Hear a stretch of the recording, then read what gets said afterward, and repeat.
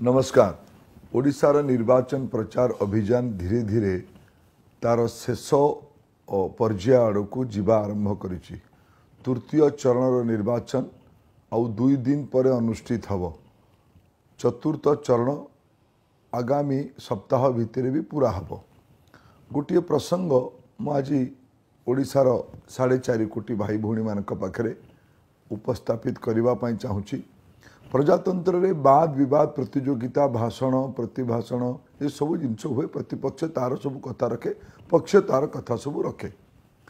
କିନ୍ତୁ ଡରେଇବା ଧମକେଇବା କୁତ୍ସା କରିବା ଇଏ ବି ଗୋଟେ ଅଙ୍ଗ ଥାଏ କିନ୍ତୁ ଯେତେବେଳେ ଏସବୁ କଥା ଶୀର୍ଷ ନେତୃତ୍ୱରୁ ଆସିବା ଆରମ୍ଭ କରେ ଦୁଇଟି କଥା ମନକୁ ଆସେ କ'ଣ ଏତେ ଡରିଲେଣି ଆପଣ? ଏତେ ମନ ଭିତରେ ଆପଣଙ୍କର ଅସୂୟା ଭାବ ଅଛି?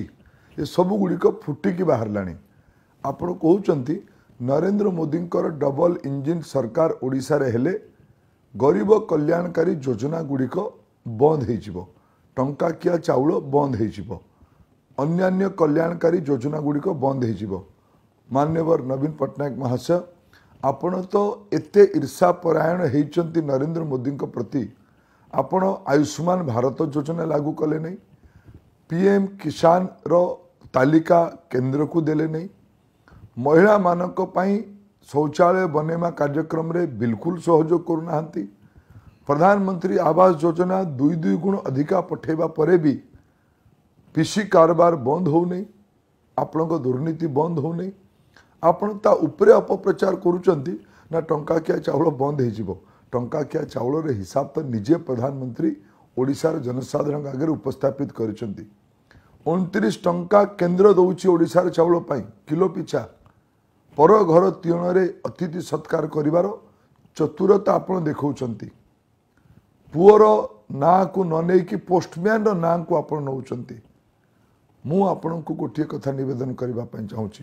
ଆପଣ କେତେ ବି କୁତ୍ସା କେତେ ବି ଅପପ୍ରଚାର କେତେ ବି ମିଛ କଥା କହନ୍ତୁ ଆଜି ଓଡ଼ିଆ ଲୋକ ବୁଝିଲେଣି।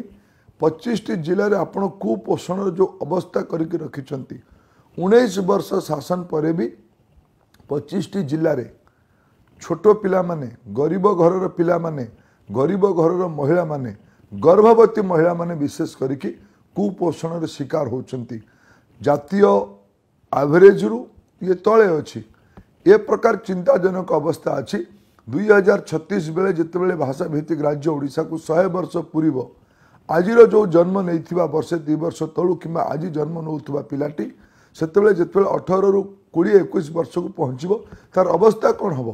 ତାକୁ ଧ୍ୟାନ ରଖିକି ଆମେ ଘୋଷଣା କରିଛୁ ଆମେ ଦାୟିତ୍ୱ ନେଉଛୁ। ଟଙ୍କାକରେ ଏକ ଟଙ୍କାରେ ପାଞ୍ଚ କିଲୋ ଚାଉଳ ଅଧା କିଲୋ ଡାଲି ଅଧା କିଲୋ ଲୁଣ ଆମେ ଦେବୁ। ଡବଲ ଇଞ୍ଜିନ୍ ସରକାର ଦେବ। ଏଇଥିରେ ଆପଣଙ୍କୁ ଏତେ ଡର ମାଡ଼ିବା ଆରମ୍ଭ କରିଛୁ। ମୁଁ ଗୋଟିଏ କଥା କହୁଛି। ଉଣେଇଶ ବର୍ଷ ଶାସନ ଦାୟିତ୍ୱ ଆପଣଙ୍କ ପାଖରେ ରହିଲା।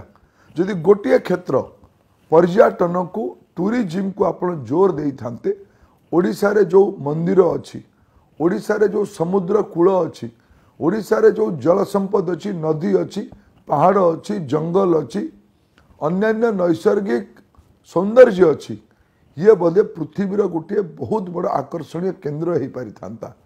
ଆପଣ ନିଜର ଅପାରଗତାକୁ ଲୁଚେଇବା ପାଇଁ ଚାହୁଁଛନ୍ତି। ଅନ୍ୟପଟେ ସାମାନ୍ୟ ଲୋକଙ୍କୁ ଡରେଇବା ଧମକେଇବା ଆତଙ୍କିତ କରାଇବା ଯେ ଇଏ ବନ୍ଦ ହେଇଯିବ ସିଏ ବନ୍ଦ ହେଇଯିବ ଓଡ଼ିଶା ମାଟିରେ ପ୍ରଧାନମନ୍ତ୍ରୀ କହିକି ଯାଇଛନ୍ତି ନରେନ୍ଦ୍ର ମୋଦି ଥିବା ପର୍ଯ୍ୟନ୍ତ ଭାରତର ଗରିବ ଲୋକମାନଙ୍କୁ କେହି ଅନିଷ୍ଟ କରିପାରିବେ ନାହିଁ ସେଇପାଇଁ ଆଜି ଗରିବ ଲୋକମାନେ ନରେନ୍ଦ୍ର ମୋଦିଙ୍କ ସାଙ୍ଗରେ ଏକାଠି ଠିଆ ହେଇଛନ୍ତି।